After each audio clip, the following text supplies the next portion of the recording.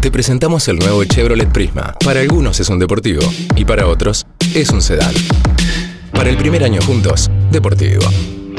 Para el primer año de casados, sedán. Para un fanático de su equipo, deportivo. Para un fanático del que juega, es un sedán. Para que la noche siga, deportivo. Pero para casarse, es sedán. Nuevo Chevrolet Prisma.